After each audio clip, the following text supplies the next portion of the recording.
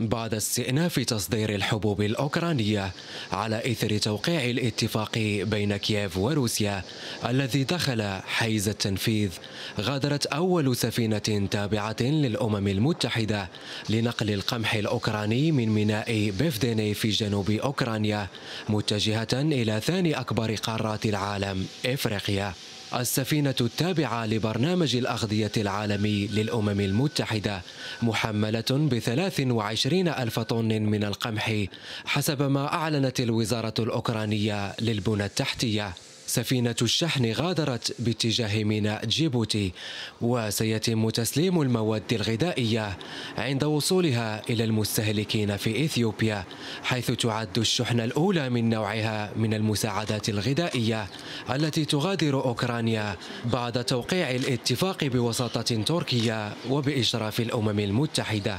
وتعتبر أوكرانيا وروسيا من أكبر الدول في العالم المصدرة للقمح الذي تشهد أسعاره ارتفاعا كبيرا بسبب الحرب التي اندلعت لأزيد من ستة أشهر.